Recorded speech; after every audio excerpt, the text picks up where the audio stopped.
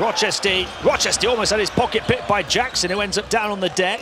Here goes Taylor. Rochestie, oh, Jonah Bolden batting that one away, and it leads to the easy offence for DeAndre Kane.